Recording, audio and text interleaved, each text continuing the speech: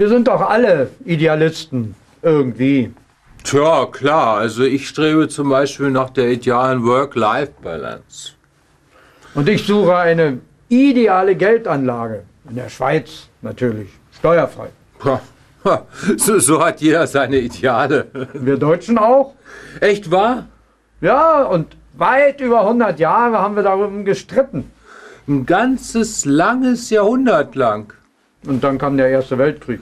Und die Ideale? Die gingen flöten. Na, hoffentlich nicht alle. Das hoffen alle.